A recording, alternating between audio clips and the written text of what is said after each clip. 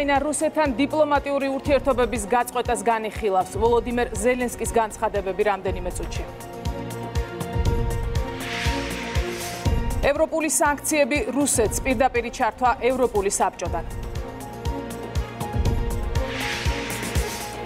მოგესალმებით მე კეთი ქაშაკაშვილი ვარ გაგაცნობ დღის მთავარ ამბებს რომლებსაც სტუმრებთან ერთად შეაჯამებს თეასიჭინავა მოგესალმებით რამდენიმე წუთში დღის მნიშვნელოვან თემებზე ჩვენი სტუმრები იქნებიან პოლიტოლოგი უკრაინიდან ვიტალი ბალა უკრაინის ყოფილი ელჩი ლატვიაში რაულ ჩილაჩავა და უცხებათა შორის საკოორდინაციო საბჭოსთან არსებული ოპერაციული შტაბის უფროსი გიორგი ღიბრაძე ევროპულმა საბჭომ და ევროკომისიამ. რუსეთის წინააღმდეგ სანქციები წარადგინა ევროპული საბჭო გმობს უკრაინის ტერიტორიულ მთლიანობასა და სუვერენიტეტზე შეტევას. მუქარას აგრესიულ რიტორიკას და საერთაშორისო სამართლის პრინციპებიდან გასვლას რისი დასტურიც არის პუტინის მიერ გუშინ მიღებული გადაწყვეტილება დონეცკისა და ლუგანსკის აღიარების თაობაზე. ევროპული საბჭოს პრეზიდენტი ამბობს რომ სანქციებზე ორგანიზაციის ერთიანობაა გამოხატული და დაყოვნების გარეშე მოსკოვმა პასუხი უნდა მიიღოს. ქეთევან კარდავა გვერდება ევროპული საბჭოდან და და გვეტყვის რა სანქციები დაუწესდება რუსეთს.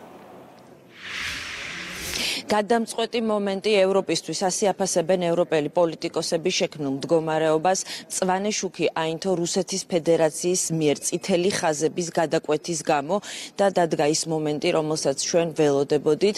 სანქციები დევს მაგიდაზე 4 საათზე ანუ თბილისის დროით 7 საათზე დაიწყება საგარეო საქმეთა მინისტრების ხდომა და ხდომის დასრულებისთანავე გაკეთდება განცხადება იმის შესახებ თუ როდის შევა ძალაში. კომენტარი გააკეთეს ევროპული ეროვნული საბჭოს პრეზიდენტმა და ასევე ევროკომისიის პრეზიდენტმა მათ გაავრცელეს ერთობლივი განცხადება, რომლის მთავარი ხაზიც არის ის, რომ ევროკავშირის 27 წევრი ქვეყანა არის ერთიანი, როდესაც საუბარია რუსეთის მიერ უკრაინის წინააღმდეგ გადადგმულ აგრესიულ ნაბიჯებზე და ფასდება ეს როგორც ინტერვენცია მეზობელ სახელმწიფოში. განცხადებაში ვკითხულობთ, რუსეთის ფედერაციის მიერ მიღებული გადაწყვეტილება ორი რეგიონის აღიარების თაობაზე არის არაკანონი ნიერი და მიუღებელი. არღვევს საერთაშორისო სამართლის ნორმებს, პრინციპებს, უკრაინის ტერიტორიულ მთლიანობასა და სუვერენიტეტს და რუსეთი ამ გადაწყვეტილებით ასევე არღვევს საერთაშორისო ვალდებულებებს, რომელიც აქვს აღებული საკუთარ თავზე და ხდება ამ გადაწყვეტილებით შემდგომი ესკალაცია სიტუაციის. პრეზიდენტები ორივე ჩვენ ვართ ერთიანი და სასწრაფოდ უნდა მოხდეს სანქციების დაწესება ყოველგვარი შეყოვნების გარეშე. ახლა რაც შეეხება პაკეტს, რომელზეც არის საუბარი ამ განცხადებაში და რომელსაც ასე ველოდებოდით ყველა. პირველი პაკეტი არის 4 პუნქტიანი, სანქციები დაუწესდება იმ ინდივიდუალურ პირებს, რომლებიც არიან პასუხისმგებელი უკანონო გადაწყვეტილებებზე. ჩვენთვის არის ცნობილი, რომ რამდენიმე ასეული პოლიტიკოსი იქნება, არ არის საუბარი ჯერჯერობით, იქნება თუ არა სიისათავეში ვლადიმერ პუტინი. მეორე, სანქციები დაუწესდებათ იმ ბანკებს, რომლებიც აფინანსებენ რუსულ არმიას და ასევე იმ ოპერაციებს, რომ იმ ოპერაციებს ლუგანსკსა და დონეცკში რომელიც აღიარა გუში რუსეთის ფედერაციამ. ასევე შეზღუდება რუსეთის სახელმწიფოს და ხელისუფლებას წვდომა ევროკავშირის დედაქალაქთან, ფინანსურ ბაზრებთან და სერვისებთან იმისათვის, რომ არ დაფინანსდეს აგრესიული პოლიტიკა და არ მოყვეს ამ სიტუაციას, რომელიც არის საგანგაშო შემდგომი ესკალაცია. და მეოთხე, წდება სავაჭრო ურთიერთობები ორ განდგომილ რეგიონთან. ორი პრეზიდენტი ამბობს, რომ ეს პაკეტი დევს მაგიდაზე და შემდგომ გადაეცემა თუ უკვე შესაბამის ორგანოებს იმისათვის, რომ საბოლოო ხელმოწერა მოხდეს და შევიდეს ძალაში. ევროკავშირში თქვეს, რომ ასეთი სანქციები იქნება მტკივნეული რუსეთისთვის, მაგრამ ეს არ არის დასასრული. შემდგომ ნაბიჯებს დაელოდებიან რუსეთის ფედერაციიდან და კიდე უფრო მეტად შეიძლება იყოს ეს სანქციები კიდე უფრო მეტად მტკივნეული და უფრო ძლიერი. ჩვენ ვესაუბრეთ ლიეტუვას ყოფილ საგარეო საქმეთა მინისტრ ლინას ლინკევიჩიუსი ამბობს, რომ აუცილებელია შეზღუდვები დაუწესდეს რუსეთის პრეზიდენტს, ვინაიდან ღირებულებას არ წარმოადგენს მისი ევროპაში მოგზაურობა. რაც მოხდა ეს მოსალოდნელი იყო. არავისთვის არ უნდა ყოფილიყო პუტინის გადაწყვეტილება სიურპრიზი. ალბათ მხოლოდ მათთვის, ვისაც ილუზიები აქვს პუტინის ქმედებებზე. მომხდარმა დაადასტურა, რომ რუსეთთან ლაპარაკს შედეგის მისაღწევად აზრი არ აქვს. ეს უბრალოდ შეუძლებელია. პუტინმა გამოსვლით ყველა საჩვენა როგორია მისი ახმა საერთაშორისო სამართალზე, ქვეყნების სუვერენიტეტსა და დამოუკიდებლობაზე. ახალ დიალოგზე აქცენტი უკვე არარელევანტურია. რუსეთს არ გონია რომ სანქციები მძიმე იქნება. ყირიმი ავიღოთ და რა მოხდა? არც არაფერი. ასე უდგებიან საკითხს. დადგა დრო სპეციფიკური სანქციების დაწესების. შეზღუდვები უნდა იყოს მტკივნეული და კოორდინირებული ამერიკის შეერთებულ შტატებთან. დრო არ იცდის. სანქციები უნდა შეეხოს პუტინის უახლოეს გარემოცვას, რაც აქამდე არ მომხდარა. რეჟიმის ფინანსურ წყაროებს უნდა უდიდესი დარტყმა მიაყენოს ევროკავშირმა. მეორე, ევროკავშირმა უნდა გაზარდოს უკრაინის ფინანსური დახმარება, გაძლიერდეს უსაფრთხოების სფეროში ქვეყნის მხარდაჭერა. მესამე, დაუყოვნებლივ უნდა მოხდეს აღმოსავლეთ ფლანგის დაცვა. რუსეთი არ გაჩერდება და რუსეთს არც უკრაინა ეყოფა. რაც მოხდა დასასრული არ არის. ჩვენ არ ვსაუბრობთ მხოლოდ კიევზე, შეიძლება იყოს ხარკოვი, ოდესა. გუშინდელმა საღამომ დაადასტურა, რომ პუტინის სიგიჟეს ლიმიტი არ აქვს. პრაქტიკული თვალსაზრისითაც საზღვრები წაშლილია. ევროპელი დიპლომატი ამბობს, რომ 2008 წელს, როდესაც რუსეთმა განახორციელა შეტევა საქართველოსზე, მაშინ იყო ძალიან კაფიო განცხადებები და ერთიანი იყო მაშინაც ევროკავშირი, თუმცა ეს არ გადაითარგმნა სანქციებში. 2014 წელს მიიღო ევროკავშირმა სანქციები რუსეთის ფედერაციის წინააღმდეგ, მაგრამ ამან არ შეაჩერა ვლადიმერ პუტინი და შესაძლებელი იყო, შესაძლებელი იყო, როგორც ლინას ლინკევიჩიუსი ამბობს, რომ მაშინვე ერთიანი პოზიციით გამოსულიყო ევროკავშირი, თუმცა სინამდვილეში მოხდა ის, რომ ევროკავშირის ლიდერებმა წაახალისეს ვლადიმერ პუტინი და სწორედ ამიტომ მივიღეთ ის მდგომარეობა, რაც არის. რამდენიმე წუთის წინ გავრცელდა ასევე ინფორმაცია ლონდონიდან, რომ დიდმა ბრიტანეთმა დაუწესა რუსეთის ფედერაციას სანქციები, კერძოდ ხუთ ბანკს, მათ შორის არის General Bank-ი, Black-Sea Bank-ი და სამ ოლიგარქს, იგორ და ბორის როტენბერგებს და გენადი ტიმჩენკოს. ომის დაწყებას რუსეთშიც მსხვერპლი მოხვება და ეს რუსმა ხალხმა უნდა კარგად იცოდეს. ნატოს არა მარტო გაფართოებას უყურებენ როგორც საფრთხეს, არამედ ასპირანტებთან თანამშრომლობასაც. ნატო ძლიერდება ახალი წევრებით, რუსეთი კი სხვა ქვეყნების ოკუპაციით და ანექსიით იზრდება. დროა გავახილოთ თვალები და გავაანალიზოთ რა ხდება. რუსეთს სურს უკრაინა წარუმატებელი იყოს და მომავალი მხოლოდ რუსეთთან ერთად ჰქონდეთ. პუტინი აპირებს გააკეთოს ყველაფერი, რომ მიზანს მიაღწიოს. They promise swimming. ბრიუსელში ამბობენ, რომ თუ რუსეთს არ სურს, რომ საზღვართან იყოს მეტი ნატო, მაშინ მიიღებს მეტ ნატოს. თუ არ სურს რუსეთის ფედერაციას, რომ საქართველო და უკრაინა დაუახლოვდეს ევროკავშირს, ეს ორი სტრატეგიული მნიშვნელობის პარტნიორი აუცილებლად დაუახლოვდება ევროკავშირს და ორგანიზაციის წევრები მოამზადებენ მომავალი წევრობისთვის. ეს არის ის პასუხი, რასაც მიიღებს ოფიციალური მოსკოვი და კრემლი აგრესიულ ნაბიჯებზე, დათმობა არ იქნება დრო არ იცდის ასეთია პოზიცია და განწყობა ევროპის პოლიტიკურ ცენტრში. ჩვენ ველოდებით საგარეო საქმეთა ministrების ხდომას რომლის დასრულებისთანავე ჯოზეფ ბორელი გააკეთებს მედიასთან კომენტარს მადლობა პირდაპირ ეთერში საუბრობდა კეთევან კარდავა.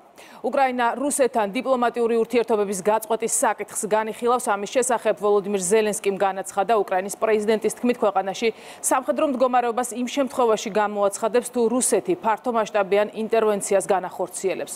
უკრაინაშიც და დასავლეთშიც მიიჩნევენ რომ რუსეთის მიერ ეგრეთ წოდებული დონეცკისა და ლუგანსკის რესპუბლიკების აღიარებით რუსეთმა საერთაშორისო სამართლის ნორმები დაარღვია და ვითარების კიდევ უფრო დაძაბვის რისკი შექმნა. ცნობილი გახდა, რომ გერმანიის კანცლერის გადაწყვეტილებით რუსულ გასადენს ჭრდილოეთის ნაკადი ორს ლიცენზია შეუჩერდა. პუტინმა უკრაინაში შეჭრის გეგმის განხორციელება დაიწყო რუსეთმა უკრაინის ტერიტორიაზე ეგრეთ წოდებულ დონბასსა და ლუგანსკის სახალხო რესპუბლიკებში სამხედროები შეიყვანა. პუტინის განკარგულებით ამ რეგიონებში ეგრეთ წოდებული მშვიდობის უზრუნველყოფა რუსეთის შეიარაღებულ ძალებს დაევალა. ვიდრე მსოფლიოს ლიდერები რუსეთისთვის მკაცრ პასუხს ამზადებენ, უკრაინის პრეზიდენტი მოსკოვთან დიპლომატიური ურთიერთობების გაწყვეტას განიხილავს. ეს უკრაინის წინააღმდეგ ახალი აგრესია, რომელიც ჩვენი საერთაშორისო პარტნიორების მხრიდან დაუყოვნებლივ და გაბედულ რეაქციას საჭიროებს. თulit რომ რუსეთის მიერ მიღებული გადაწყვეტილებები უკრაინის წინააღმდეგ შემდგომი სამხედრო აგრესიისთვის სამართლებრივ საფუძველს ქმნიან. ევროპამ და მსოფლიომ არ უნდა დაუშვას ტრაგიკული შეცდომების განმეორება, რომლებიც დაშვებული იყო 2008 წელს საქართველოში. ჩვენ სანქციების დაუყოვნებლივ შემოღებაზე შევთანხმდით. ამ სანქციებმა უნდა მოიცვას ჩრდილოეთ ნაკადი ორის დახურვაც. რუსულ გასადეთთან დაკავშირებით უკვე გააკეთა განცხადება გერმანიის კანცლერმა ოლაფ შოლცის თქმით, ჩრდილოეთ ნაკად ორს ლიცენზია შეუჩერდა. მოსკოვს მკაცრ სანქციებს დიდი ბრიტანეთის პირდება ბორის ჯონსონი დარწმუნებულია, რომ რუსეთი ორი რეგიონის აღიარებით არ შემოიფარგლება და უკრაინაში ფართო მასშტაბიან ინტერვენციას განახორციელებს. შიშობ ყველაფერი იმაზე მეტყველებს, რომ პრეზიდენტ პუტინს განზრახული აქვს ფართო მასშტაბიანი შეჭრა. ის მზად არის დაიპყროს, დაიმორჩილოს თავისუფალი ევროპული სახელმწიფო. როგორც ჩანს, პუტინს კიევის ალყაში მოქცევა სურს. ამის გამო აუცილებელია მიუმართოთ ძალისხმევას, რომ კიდევ ერთი ევროპული ქვეყნის დაპყრობა მან ვერ მოახერხოს. პუტინმა მარცხი უნდა განიცადოს. incredibly serious უკრაინა სუვერენული სახელმწიფოა, რომლის ტერიტორიის ნაწილიც ფაქტობრივად ანექსირებულია. ჩვენ ყველამ დაუყოვნებლივ უნდა ვიმოქმედოთ, რათა შევაკავოთ პრეზიდენტი პუტინი, რომ მან ნატოს, ევროპას და რაც მთავარია, ჩვენს ფასეულობებს ზიანი არ მიაყენოს. ვლადიმერ პუტინის გუშინ მიღებულ გადაწყვეტილებებისა და შემდგომ ხანგრძლივი ტელეგამოსვლის შემდეგ გაეროში შტატების ელჩმა უკრაინაში ფართომასშტაბიანი მოქმედებების დაწყება დაანონსა. პუტინის მტკიცება, რომ რუსული ძალები, რომლებიც შედიან ამ რეგიონებში, სამშვიდობოები არიან სისულელია. ჩვენ კარგად ვიცით, ვინ არიან ისინი. ამ ქმედებით რუსეთმა მთელი მსოფლიო არჩევანის წინაშე დააყენა. ჩვენ ამას თვალს ვერ ავარიდებთ. ეს არის იერიში გაეროს წევრის ტერიტორიული მთლიანობისა და სუვერენიტეტის წინააღმდეგ. აშკარაა, რომ პუტინი უკრაინაში შემდგომი შეჭრისთვის საფუძვლის მომზადებას აგრძელებს. სიტუაცია ძალიან სახიფათოა. მოცემულ მომენტში რუსეთის ფედერაციას უკრაინაში შეჭრა ღილაკის ერთი დაჭერით შეუძლია. ამაზე მიუთითებს დაზვერვის სამსახურების მიერ მოწოდებული ყველაცნობა. ევროპისთვის სერიოზული დრო დადგა. დასავლეთის სანქციების საფრთხის მიუხედავად რუსეთის პარლამენტის ორივე პალატამ რუსეთის მიერ აღიარებული რესპუბლიკებთან მეგობრობის თანამშრომლობისა და ურთიერთდახმარების თაობაზე ხელშეკრულების რატიფიცირება მოახდინეს. სწორედ ამ ხელშეკრულებების საფუძველზე აპირებს რუსეთი უკრაინის ტერიტორიაზე სამხედროების შეყვანის გამართლებას, თუმცა დოკუმენტში დაკონკრეტებული არ არის სად გადის ამ ეგრეთ წოდებული სახელმწიფოების ეგრეთ წოდებული საზღვარი. ჩვენ გააზრებული გვაქვს, რომ ამ ხელშეკრულებების რატიფიკაციას საერთაშორისო დონეზე გარკვეული დაძაბულობა მოყვება. იქნება სანქციები, იქნება ჩვენთვის რთული ვითარებები, მაგრამ ჩვენ მზად ვართ ნებისმიერი საკითხი და დაძაბულობა გადავჭრათ. მოგვიანებით რუსეთის საგარეო უწყებამ განმარტა, რომ მოსკოვი ეგრეთ წოდებულ ორ რესპუბლიკას იმ საზღვრებში აღიარებს, რომელსაც ამ დროისთვის ისინი აკონტროლებენ. საქართველო უკრაინის გვერდით დგას და მხარს უჭერს მის ტერიტორიულ მთლიანობასა და მშვიდობას. პრეზიდენტის სასახლეზე უკრაინის სოლიდარობისა და მხარდაჭერის ნიშნად უკრაინისა და საქართველოს სახელმწიფო დროშები გადმოიფინა. რუსეთის მიერ დონეცკისა და ლუგანსკის ეგრეთ წოდებულ დამოუკიდებლობის აღიარებას საქართველოს ხელისუფლების პირველი პირები აფასებენ და უკრაინას მხარდაჭერას უცხადებენ. რუსეთის მიერ დონეცკისა და ლუგანსკის აღიარება არის საერთაშორისო სამართლის ფუნდამენტური პრინციპების წინააღმდეგ მიმართული მორიგი ნაბიჯი და სამწუხაროდ იმეორებს 2000 8 წელს საქართველოს ტერიტორიების ოკუპაციას ამის შესახებ ირაკლი ღარიბაშვილი ტვიტერზე წერს. რუსეთის პრეზიდენტის ნაბიჯი დაგმო საქართველოს პრეზიდენტმა. პრეზიდენტი ზელენსკი საქართველოს თქვენს გვერდით დგას წერს სალომე ზურაბიშვილი ტვიტერის საკუთარ გვერდზე. პუტინის გადაწყვეტილებას გამოეხმაურა პარლამენტის თავმჯდომარე. რუსეთის მიერ დონეცკისა და ლუგანსკის აღიარება კიდევ ერთი ნაბიჯია, რომელიც მიმართულია საერთაშორისო სამართლის ფუნდამენტური პრინციპების წინააღმდეგ და სამწუხაროდ 2008 წელს საქართველოს ტერიტორიების ოკუპაციას იმეორებს. ჩვენ მტკიცედ ვუჭერთ მხარს უკრაინის სუვერენიტეტსა და ტერიტორიულ მთლიანობას. საქართველოს მტკიცედ გმობს რუსეთის მიერ უკრაინის დონეცკისა და ლუგანსკის რეგიონების აღიარებას, რაც იმეორებს იმ სცენარს, რამაც ჩვენი ტერიტორიის 20%-ის ოკუპაცია გამოიწვია. პრეზიდენტ ზელენსკის მიუმართავ, საქართველოს თქვენს გვერდით დგას და მხარს უჭერს უკრაინის ტერიტორიულ მთლიანობასა და მშვიდობას. უკრაინის ტერიტორიების დამოუკიდებელ სახელმწიფოებად აღიარება საერთაშორისო სამართლის აშკარა დარღვევაა. საქართველოს სოლიდარობას უცხადებს უკრაინას. საერთაშორისო თანამეგობრობის მხრიდან მნიშვნელოვანია იმოქმედოს გადამწყვეტად ომის თავიდან ასაცილებლად და საერთაშორისო სამართლის ფუნდამენტური პრინციპების დასაცავად. რუსეთის მიერ დონეცკისა და ლუგანსკის აღიარება არის საერთაშორისო სამართლის ფუნდამენტური პრინციპების დარღვევა და იმეორებს 2008 წელს აფხაზეთისა და ცხინვალის რეგიონების აღიარებასა და ოკუპაციის სცენარს. მოვუწოდებთ ჩვენს საერთაშორისო პარტნიორებს უპასუხონ ევროპის უსაფრთხოებისა და საერთაშორისო სამართლის მორიგ დარღვევას. დონეცკისა და ლუგანსკის ოლქების ეგრეთ წოდებული დამოუკიდებელ სახელმწიფოება და ღიარება საერთაშორისო სამართლის ფუნდამენტური პრინციპების უხეში დარღვევა, ასეთია მართველი გუნდის შეფასება, მათი თქმით პუტინი ერთ-ერთი იმეორებს იმ ქმედებებს, რომელსაც ადგილი ჰქონდა ჩვენს ქვეყანასთან მიმართებით 2008 წელს. ხელისუფლების წარმომადგენლები აცხადებენ, რომ ისინი ჭიდრო კოორდინაციაში არიან საერთაშორისო პარტნიორებთან და ქმედებებიც აგრესიის წინააღმდეგ, მათი თქმით უნდა იყოს შეთანხმებული საერთაშორისო თანამეგობრობასთან. ჩვენ ვიხილეთ საოკუპაციო რეჟიმის მორიგი უხეში დარღვევა საერთაშორისო სამართლის ფუნდამენტური პრინციპებისა უკრაინაში. მსგავსი სცენარი, როგორც ყოველს გვახსოვს, განხორციელდა საქართველოში 2008 წელს, როდესაც ცხინვალის რეგიონში რუსეთის ფედერაციის სამხედრო ინტერვენციის შემდგომ აღიარებულ იქნა ეგრეთ წოდებულ დამოუკიდებელ ქვეყნებად ცხინვალის და აფხაზეთის რეგიონები. ჩვენ მткиცად ვუჭერთ მხარს უკრაინის სუვერენიტეტს და ტერიტორიულ მთლიანობას საერთაშორისო დაღიარებულ საზღვრებში და იმეც გამოვთქვამ, რომ საერთაშორისო თანამეგობრობა მკაცრ და სათანადო რეაგირებას მოახდენს. ჩვენი ქვეყანა, რომელიც ორჯერადად არის ოკუპირებული და ტერიტორიების გარკვეული ნაწილი ოკუპირებულია რუსეთის მხრიდან, რა ძალიან მტკივნეულია თითოეული ქართველისთვის. ძალიან მტკივნეულია გულდასაცვეტია, როდესაც მთელი ქვეყნის რაღაც გარკვეულ ნაწილს ვიღაც ამოგლიჯავს, ეს გამოცდილება სამწუხაროდ ჩვენს გამოვლილი გვაქვს და მინდა მშვიდობა უსურვო უკრაინას, მშვიდობა უსურვო საქართველოს და რა თქმა უნდა აუცილებლად დადგება ის დრო, როდესაც საქართველოს იქნება ერთიანი და ასევე უკრაინაც იქნება ერთიანი. უმძიმესია სიტუაცია გრძელვადიან პერსპექტივაში რასაკვირველია რუსეთს საკმაოდ სერიოზული პრობლემები ექნება იმიტომ რომ ასეთი სახის ოკუპაცია საკმაოდ სერიოზულ რესურსების მობილიზებას საჭიროებს და ამასთანავე დაპირისპირება დასავლურ სამყაროსთან სერიოზულ დარტყმებს მიაყენებს ყოველ ყველა მიმართულებით როგორც პოლიტიკური უსაფრთხოების ასევე საგანგებო ეკონომიკური მდგომარეობის მიმართულებით. საქართველოსთვის საგანგებოდ მნიშვნელოვანია რომ თავისი პოლიტიკით უზრუნველყოს ქვეყნის უსაფრთხოების და სტაბილურობის შენარჩუნება და ამავე დროს რასაკვირველია უკრაინისათვის მხარდამჭერა ეს არის ჩვენი ინტერესებიდან გამომდინარე. რუსეთის ფედერაცია სრული იგნორირება მოახდინა საერთაშორისო სამართლის დადგენილი ნორმების და კონკრეტული ქვეყნის სუვერენიტეტის ხელყოფა მოახდინა. ეს არის ერთ-ერთი სცენარი, რომელიც 2008 წელს საქართველოსში განხორციელდა, საქართველოს დიპლომატიური წარმომადგენლობები აქტიურად მონაწილეობენ კოორდინაციაში ჩვენ დასავლურ პარტნიორებთან ერთად აღნიშნულ პროცესებში, სხვა კონკრეტული ნაბიჯების სიტუაციიდან გამომდინარე, შესაბამისი ნაბიჯები იქნება გადადგმული, რა თქმა უნდა, გამომდინარე იქიდან თუ რა საჭიროებები იქნება შემდგომში წარმოშობილი.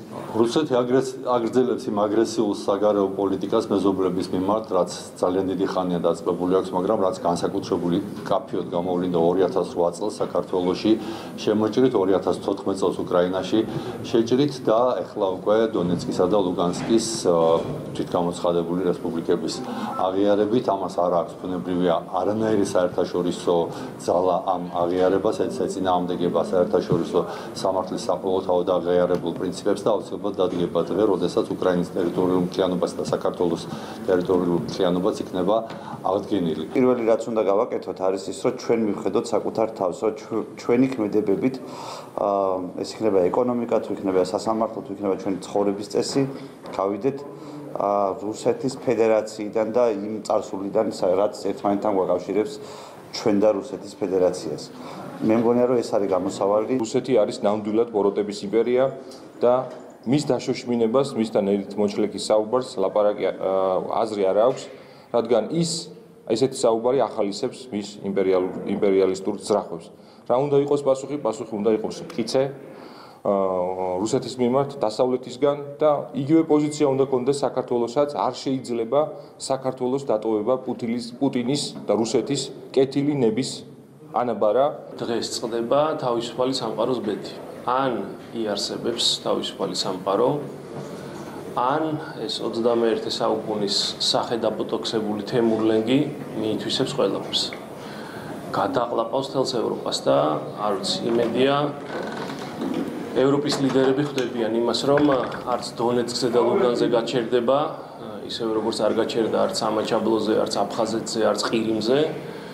არც საერთო ჯამში უკრაინაზე გაჩერდება და სანამ ევროპის ყველა დედაქალაქს მე არ მიერთებს და თავის აი უშენო სამფეროვან დროშას ყველგან არ წამოჭიმავს მას ვერაფერი ვერ შეაჩერებს ერევანში ევრონესტის საპარლამენტო ასამბლეის კომიტეტების შეხვედრა გამართა. შეხვედრაში მონაწილეობა მიიღო საქართველოს პარლამენტის მუდმივ მოქმედმა დელეგაციამ. განიხილეს უკრაინაში მიმდინარე პროცესები, ევროპარლამენტმა დაგმო რუსეთის პრეზიდენტის გუშინდელი განცხადება და გადაწყვეტილება.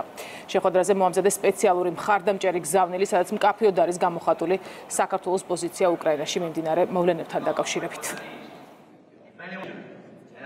დღევანდელი ბიუროს შეხვედრა და დღევანდელი კომიტეტების შეხვედრა, რა თქმა უნდა, დიდწილად გადაიფარა რუსეთის მხრიდან გუშინ განხორციელებული ქმედების ქმედებით და რა თქმა უნდა, ჩვენ პირველ რიგში გამოვეხმაურეთ პუტინის მიერ უკრაინის ტერიტორიების აღიარების საკითხს და მომამზადეთ სპეციალური გზავნილი ევრონესტის საპარლამენტო ასამბლეის ბიუროს და რომელიც რომლითაც დავგმეთ მით რუსეთის ქმედება, სადაც ასევე ნათქვამია და ასევე ხმაურება ეს განცხადება საქართველოს ტერიტორიების ოკუპაციას და მოუწოდებს ევროკავშირს მტკიცე პასუხი გასცეს რუსეთის მხრიდან ასეთ ნაბიჯებს.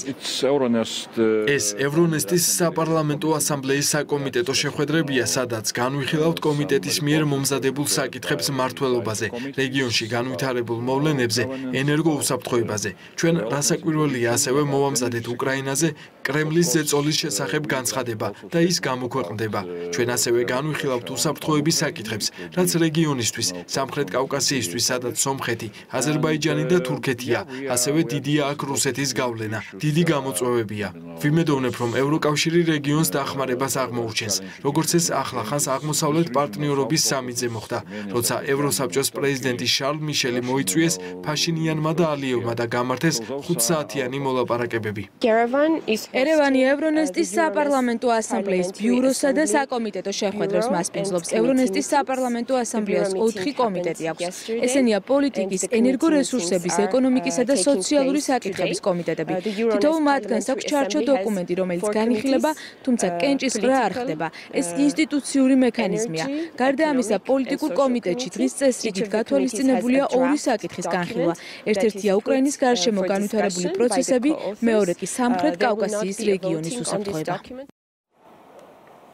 დღეს არჩილ ტატუნაშვილის გარდაცვალების დღეა მოხადგვერდის ძმათა სასაფლაოზე მის ხსოვნას თავდაცვის ძალების სამხედრო მოსამსახურეებმა პატივი მიაგეს მოხადგვერდის ძმათა სასაფლაოზე იმყოფებოდა შერიგებისა და სამოქალაქო თანასწორობის საკითხებში სახელმწიფო მინისტრიც. 26 დღე დააპატიმრეს და მიცვალებულსაც არ გვაძლევდნენ.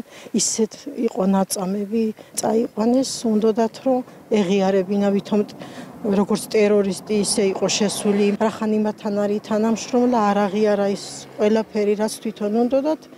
იმის შედეგად აწამეს. ჯერ დროშა დაუფინეს ფეხქვეშ, შედეგი დროშაზე. მე ახლა რუკა მიუტანეს თურმე და თქვი რომ ეს სამხრეთ ოსეთიაო. შემოხაზა თურმე თითით ეს სამხრეთ ოსეთი არასდროს არ აყოფილა და არც იქნება ეს. დღეს კიდევ ერთხელ გავიხსენეთ ჩვენი თანამებრძოლი არჩილ ტატუნაშვილი და პატივი მივაგეთ მის ხსონას.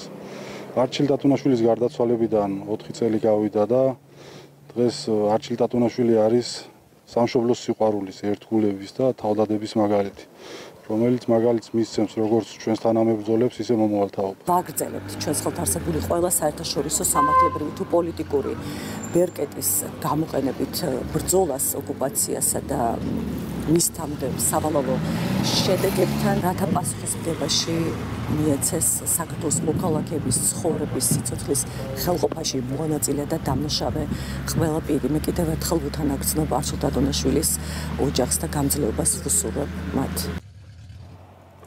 არჩილ ტატუნაშვილის გარდაცვალებიდან 4 წელი გავიდა. ყველაფერს ვაკეთებთ, რომ მართლმსაჯულების წინაშე წარდგეს მის გარდაცვალებაში დამნაშავე ყველა პირი. ამის შესახებ პრემიერ-მინისტრი ირაკლი ღარიბაშვილი სოციალურ ქსელში წერს. დღეს ჩვენი დროის გმირის არჩილ ტატუნაშვილის გარდაცვალების დღეა. თელ ჩვენ საზოგადოებასთან ერთად პატივს მივაგებ მის ნათელ ხსოვნას. სამშობლოსთვის მისი თავდადება ის მაგალითია, რომელზეც არაერთი თაობა აღიზრდება. ჩვენ ყველაფერს ვაკეთებთ იმისთვის, რომ მართლმსაჯულების წინაშე წარსდგეს არჩილ ტატუნაშვილის გარდაცვალებაში დამნაშავე ყველა პირი. მიხელ სააკაშვილმა უვადო შიმშილობის დაწყების შესახებ გუშინ სასამართლოს ხდომაზე განაცხადა, მასთან დღეს მისი ადვოკატი იმყოფებოდა, რომელმაც თქვა, რომ ბრალდებულმა შიმშილობა დაიწყო. მოგვიანებით რუსთავის მე-12 დაწესებულებაში შევიდა ეკა ხერხეულიძე. რა განცხადებები კეთდება მიხელ სააკაშვილის გუნდში, ამას სოფო ბერიძე გვეტყვის. კეთი ეკახერხეულიძემ რამდენიმე წუთის წინ დატოვა რუსთავის მე-12 სასჯელ ახსრულების დაწესებულება და ჟურნალისტებს ესაუბრა სააკაშვილის მოთხოვნასთან დაკავშირებით მისი მხრიდან დააზუსტა ის რომ ნაციონალური მოძრაობის პატიმარი ლიდერი არითხავს რომელიმე კონკრეტული ექიმის შეყვანას და მასთან დაკავშირებით ახალი დასკვნის დადებას არამედ ის ითხოვს და მასთან ერთად მისი პარტიაც სააკაშვილის საერთოდ გაყვანა სასჯელ ახსრულების დაწესებულებიდან და ისე მკურნალობას ეკახერხეულიძის მხრიდანაც და ასევე დღეს ხატია დეკანოიძის მხრიდან ადამიანს დააზუსტდა, რომ მათ მიზანშეწონილად მიაჩნიათ, რომ სააკაშვილის მკურნალობა უნდა მოხდეს საქართველოს ფარგლებს გარეთ.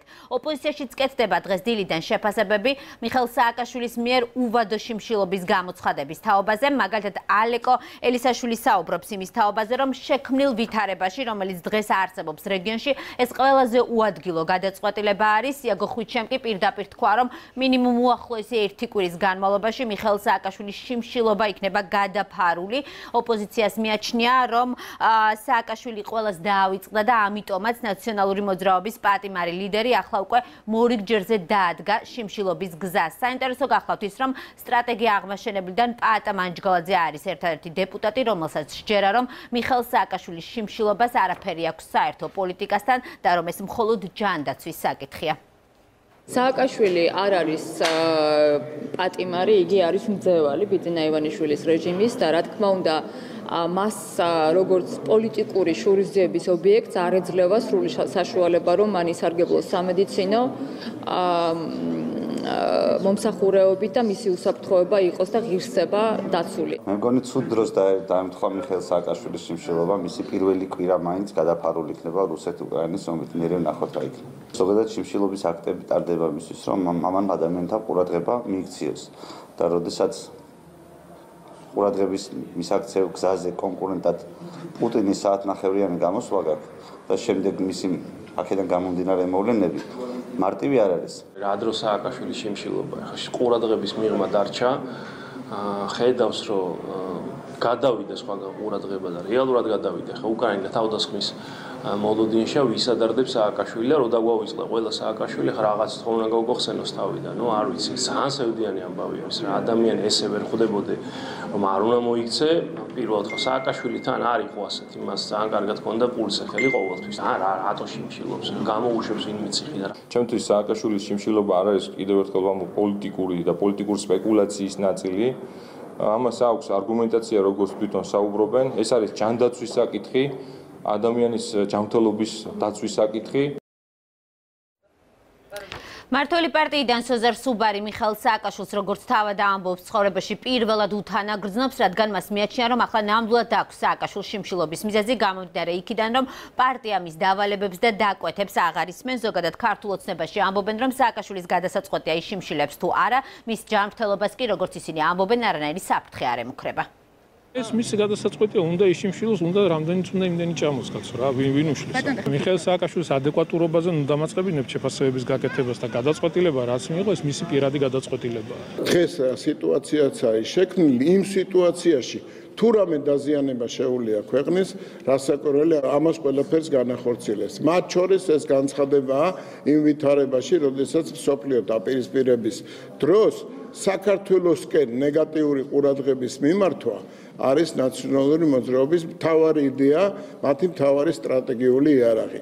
ამას ემსახურება სააკაშვილის განცხადება.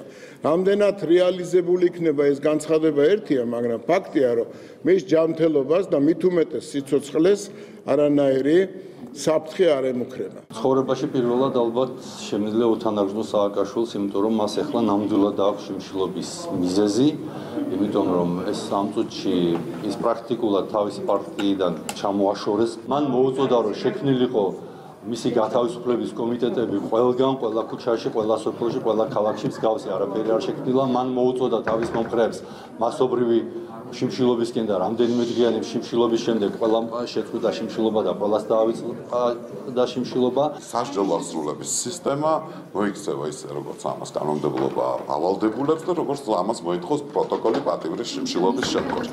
სხვა მხრივ მიხეილ სააკაშვილის განცხადებები ჩემთვის საინტერესო საერთოდ არის. ნაციონალური მოძრაობის პატიმარმა ლიდერმა უვადო შიმშილობა გუშინ გამოაცხადა დღეს დააზუსტა რომ მიხაილ სააკაშვილი და ასევე მისი პარტია ითხოვს პატიმრის გაყვანას სასჯელ აღსრულების დაწესებულებიდან და ასე მის მკურნალობას. მადლობა ეს სოფო ბერიძე იყო. პრემიერ-მინისტრი ევროპის საბჭოს ადამიანის უფლებათა კომისარ დუნია მიატოვიჩ შეხვდა საუბარი შეეხო ადამიანის უფლებების დაცვის მიმართულებით საქართველოს მთავრობის მიერ გაწეულ ძალის ხმევას. ირაკლი ღარიბაშვილმა დუნია მიატოვიჩს ევროპის საბჭოს საპარლამენტო ასამბლეის მიერ საქართველოსი ადამიანის უფლებებისა და დემოკრატიული განვითარების გამტკიცებაში შეტანილი წვლილისთვის მადლობა გადაუხადა და აღნიშნა, რომ საქართველოს ერთგული რჩება ადამიანის ფუნდამენტური უფლებების დაცვის მთავარი პრიორიტეტის მიმართ.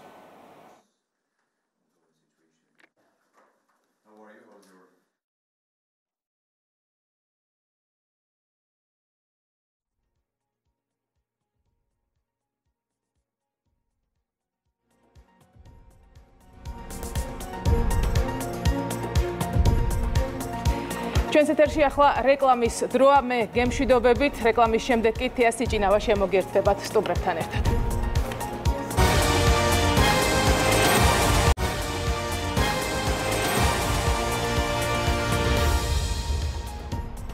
ბრუნდებით პირდაპირ ეთერში, რა თქმა უნდა, საუბარს ვიწყებთ მსოფლიოს მთავარი თემით, უკრაინაში განვითარებულ და მიმდინარე მოვლენებზე პუტინის გუშინდელ მიმართვაზე და ეხლა ჩვენი პირველი სტუმარი არის პოლიტოლოგი ვიტალი ბალა, რომელიც კიევიდან გვერდება. მოგესალმებით, ბატონო ვიტალი, გმადლობთ გადაცემაში მონაწილეობისთვის. საქართველოში დღეს ყველაზე კარგად გვესმის თქვენი და ასევე ყველაზე კარგად ვიცით თუ რამდენად მნიშვნელოვანია დასავლეთის მობილიზაცია მსგავს სიტუაციაში. ამ ეტაპზე რაც ვიცით სანქციებთან დაკავშირებით, რაც დასავლეთ დასავლეთმა ოფიციალურად გაჟღერა. სულ ცოტა ხნის წინ ევროკავშირმა საზოგადოებისთვის საჯაროდაც ცნობილი გახადა სანქციების პაკეტი, რომლის დაწესებასაც ის აპირებს რუსეთის წინააღმდეგ, ეს არის ინდივიდუალური სანქციები, ასეულობით პოლიტიკოსზე, მაგრამ საუბარია თუ არა რუსეთის პრეზიდენტზე ჯერ გარკვეული არ არის. საუბარია იმ ბანკების მიმართ სანქციების დაწესებაზე, რომლებიც აფინანსებენ რუსულ არმიას და შემდეგ კიდევ რამდენიმე პუნქტი, მაგრამ ყველაზე მნიშვნელოვანი მაინც ეს ორია. ასევე ცოტა ხნის წინ გავრცელდა ინფორმაცია, რომ გერმანია ჩრდილოეთი ნაკადი ორი სერტიფიცირებას აჩერებს. ანუ შეგვიძლიათ ვივარაუდოთ, რომ ეს კარგი დასაწყისია რუსეთის შესაკავებლად. Так, доброго дня. Дякую, მოგესალმებით.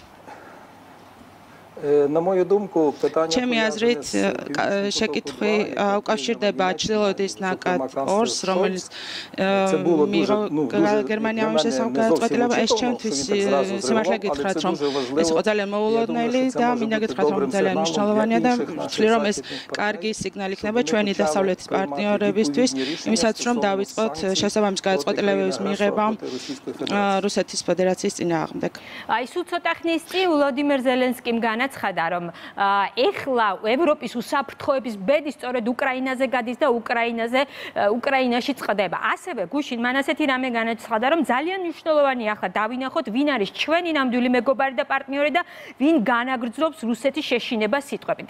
ეს ძალიან მნიშვნელოვანი დეტალია, იმიტომ რომ გვაინტერესებს რა დასკვნა გამოიტანა დასავლეთად. პუტინისთვის პირველი არ არის სხვისი ტერიტორიების მიტაცება და აღიარება ჩვენ საკუთარ თავზე 2008 წელს გამოვცა და შემდეგ უკვე 2014 13 წელს ვიხილეთ ყირიმის მაგალითი, ანუ ეს ცნობილია მსოფლიოსთვისაც. გახდა და მზად არის დასავლეთი უფრო ხისტი სანქციებისთვის, რომ ეს უფრო მტკივნეული იყოს მოსკოვისთვის, ვიდრე წინა შემთხვევებში.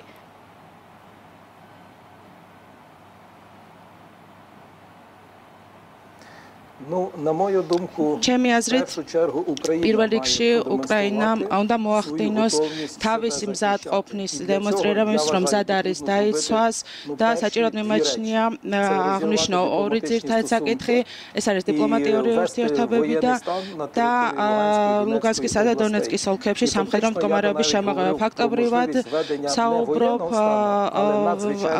საგანგებო მდგომარეობის შემოღებაზე მთლიანად უკრაინის ტერიტორიაზე ჩვენ დასავლეთ პარტნიორებს უნდა ვაჩვენოთ, ასევე ჩვენს მეგობრებს უნდა ვაჩვენოთ და ასევე ჩვენ ტერს რუსეთს რომ ჩვენ მზად ვართ და დავიცავთ ყველა შესაძლო ძალებითა და საშუალებებით, ასევე იმ რესურსით, რომელიც გააჩნია უკრაინას. ანუ თქვენ გამოსავალს ამ შემთხვევაში მხოლოდ სანქციებში არ ხედავთ და უნდა გადაიდგეს კონკრეტული ნაბიჯები, რომ ის აგრესია შეჩერდეს, რაც რუსეთის მხრიდან ამ ეტაპზე მომდინარეობს. Так, я думаю, що нам вже час отримувати ту реальну зброю, ті же системи, Patriot, так, які убезпечать нас від тої переваги, яка є у Росії у повітрі. І це має бути, на мою думку, таким превентивним ეს გახლავთ ძალიან გარკვეული ნაბიჯი იმისათვის რომ ისეთ არ გააგრძელოს თავისი აგრესია. იმის გათვალისწინებთ რომ უკვე ეგრეთ წოდებული ლუგანსკისა და დონეცკის რესპუბლიკების წარმომადგენლებმა განაცხადეს რომ და ასევე ისინი ფიქრობენ რომ შეიძლება დაიწყოს და გაგრძელდეს ნებისმიერ მომენტში. აი თქვენ თქვით რომ უნდა გამოცხადდეს საგანგებო მდგომარეობა მთელი ქვეყნის მასშტაბით. თუმცა ჩვენ ვიცით რომ რუსეთი ეძებს ნებისმიერ საბ საბაბს იმისთვის, რომ პროვოკაცია მოაწყოს და შემდეგ ეს პროვოკაცია ფართო მასშტაბიან კონფლიქტში გადაიზარდოს. აი ეს რაც თქვენ ახლა თქვით, შეიცავს თუ არა რისკს და საფრთხეს ამ პროვოკაციის კიდევ?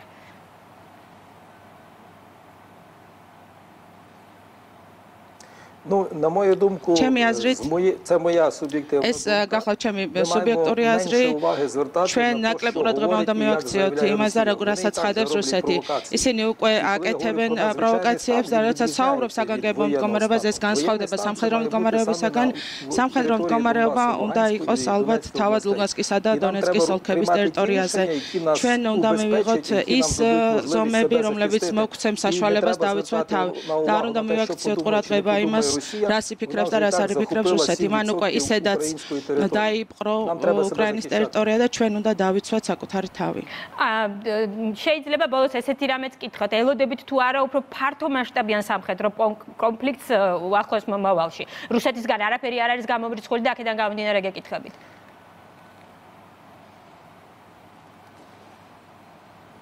насправді სინამდვილეში დღეს არავის შეუძლია გაგცეთ ამაზე პასუხი გაგრძელდება თუ არა ეს კომერობა მაგრამ არ გამოვრიცხავ იმას რომ ისინი შეეცდებიან დონეცკის ოლქში გადაადგილებას ასევე რუსეთმა და მაშინ როდესაც რუსეთმა დაიწყო აგრესია საქართველოს წინააღმდეგ 2008 წელს ამანამდეც ჩვენ ველოდით ქონდა გარკვეული მოლოდინები და ამიტომ ჩვენ მზად უნდა ვიყოთ ყველაფრისთვის და ყველაფერი უნდა გავაკეთოთ იმისათვის რათა გავამ გამაგროთ ჩვენი თავდაცვა. ძალიან დიდი მადლობა პოლიტოლოგი ვიტალი ბალა საუბრობდა გისურვებთ პირველ რიგში მშვიდობას, გამძლეობას და ტერიტორიულ სიმტკიცესა და მთლიანობას. მადლობთ გადაცემაში მონაწილეობისთვის. ჩვენი შემდეგი სტუმარი ისევ ანალოგიურად უკრაინის თემაზე ეს არის უკრაინის ყოფილი ელჩი ლატვიაში რაულ ჩილაჩავა, რომელსაც მივესალმები. მოგესალმებით ბატონ რაულ, მადლობთ გადაცემაში მონაწილეობისთვის. მადლობთ. აა გავაგრძელებ ამ თემას, ასეც წინა სტუმართან საუბრობდი პირველ რიგში სანქცია, როგორც ყოფილ დიპლომატს, ანუ ყოფილი დიპლომატი შეიძლება არ არსებობს და როგორც დიპლომატს, ისე მინდა გკითხოთ. დღეს, როდესაც ასეთი ვითარება გვაქვს, გუშინ ჩვენ პუტინის ხანგრძლივი გამოსვლა მოვისმინეთ, სადაც მან სანქციებზე ცისაუბრა და ესეთი რამე თქვა, რომ როგორც არ უნდა მოიქცეს რუსეთი, დასავლეთი ჩვენ სანქციებს მაინც დაგვიწესებს და მისი, ასე ვთქვათ, სიტყვებიდან გარკვევითი კითხებოდა, რომ მისთვის სანქციების დაწესებას თითქოს არანაირი მნიშვნელობა არ აქვს. არის არის თუ არა ეს რეალურად ასე ერთია რას ამბობს ის პირდაპირ, მაგრამ მისი სიტყვების მიღმა რუსეთს მართლა აქვს თუ არა ესეთი მდგომარეობა, რომ არ ადარდებდეს ასეთი დონის სანქციები? აა მოგესალმებით, მიესალმებით თქვენს მაყურებელს. მინდა გითხრათ რომ პუტინის განცხადებას ორმაგი დატვირთვა ჰქონდა, რადგან გარკვეული სანქციები, რა თქმა უნდა, რუსეთისთვის არაფერს არ ნიშნავს. ყოველ შემთხვევაში ის სანქციები, რაც 2014 წლიდან იყო დაწესებული ამერიკის შეერთებული შტატების მიერ, ევროკავშირის მიერ და ასე შემდეგ, რუსეთისთვის, როგორც ჩვენ დავინახეთ, არ აღმოჩნდა ისეთი დამამძიმებელი გარემოება, რომ მისთვის ვერ გაეწია. ანუ პუტინი ფიქრობს, რომ დასავლეთი კვლავ გააგრძელებს ნახევარ სანქციებით ბრძოლას მასთან, რითაც მას ვერ შეაშინებენ.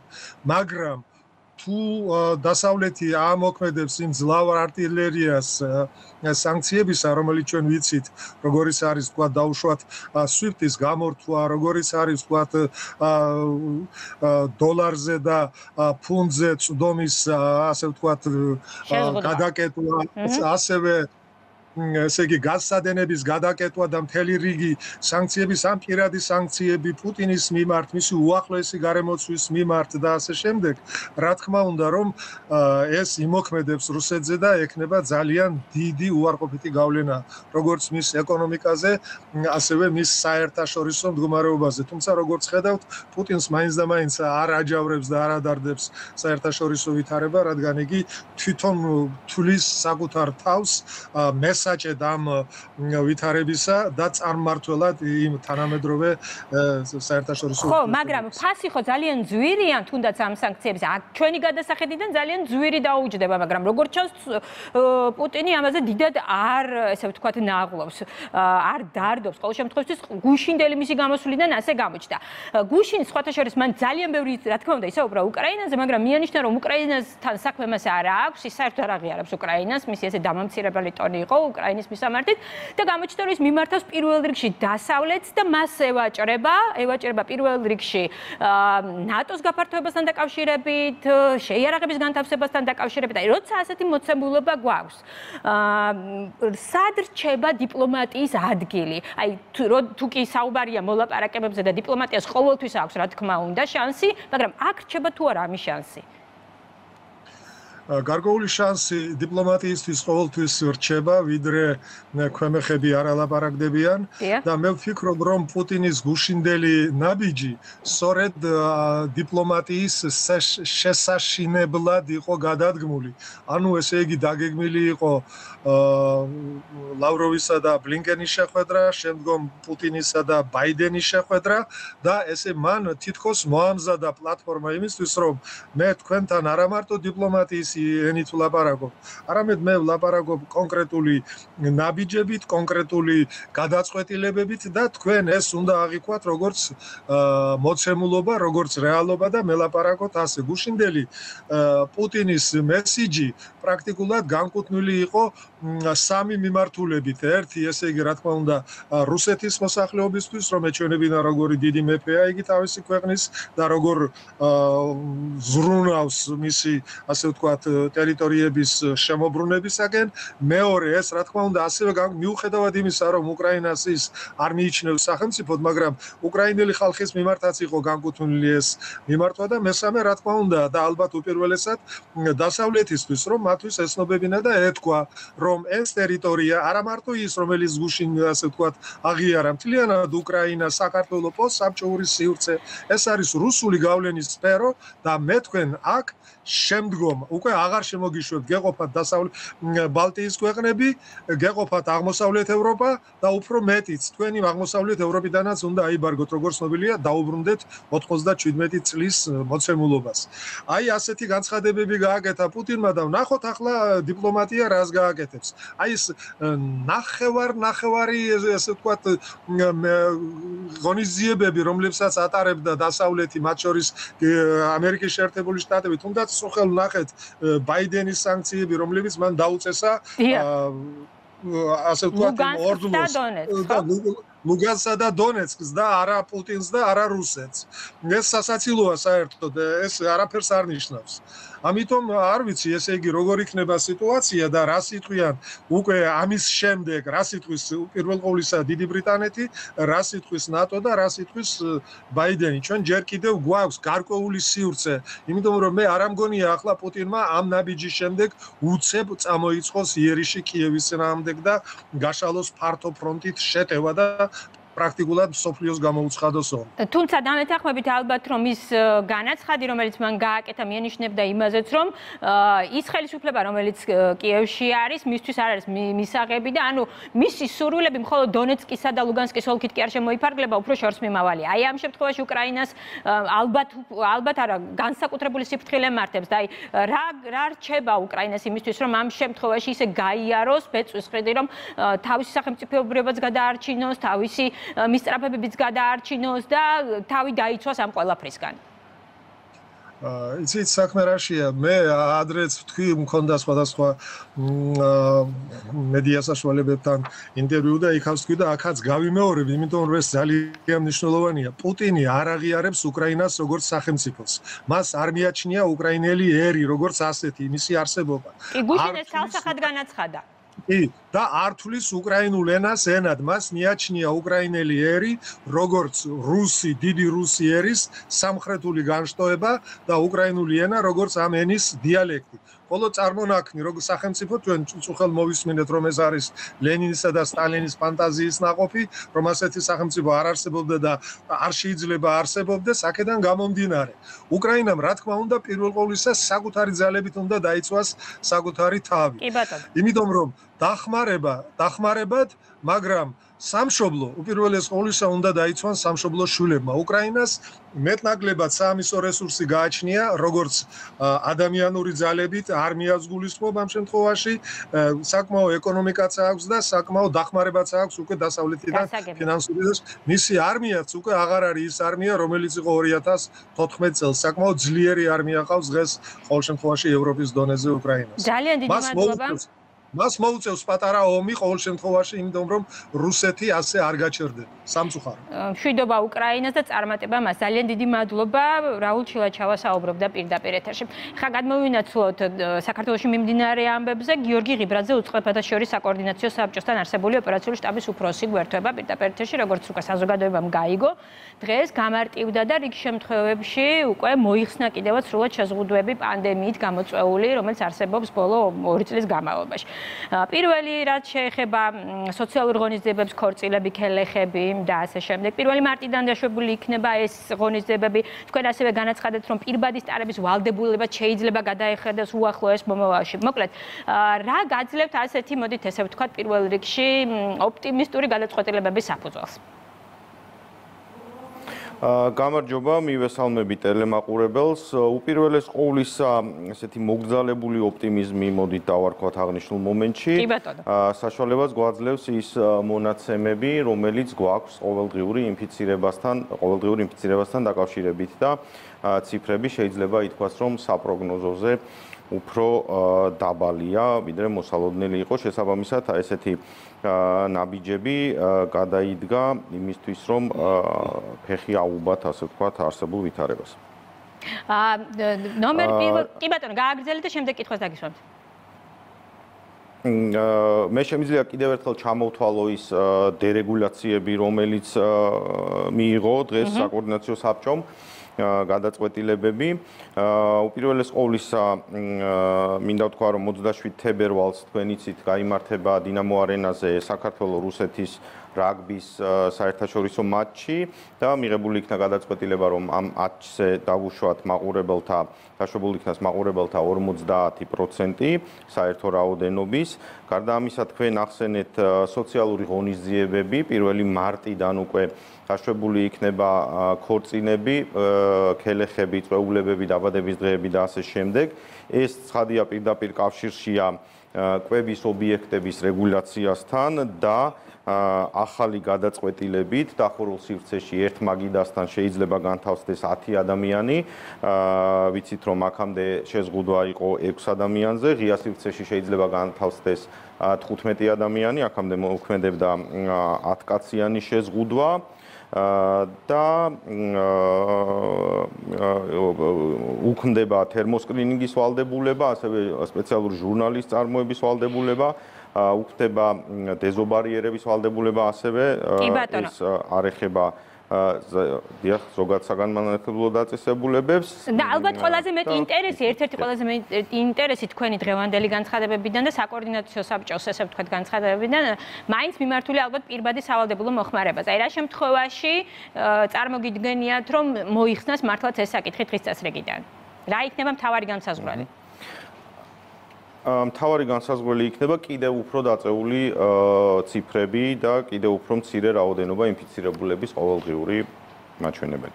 ძალიან დიდი მადლობა იმეც ვიქონიოთ რომ ეს ძალიან მალე დადგება. პირბადაც აღარ იქნება საჭირო და პანდემიასაც დავასრულებთ. გიორგი ღიბრაძე პასუხობდა ჩვენს კითხვებს, გამარჯობათ გადაცემაში მონაწილეობისთვის. მადლობა.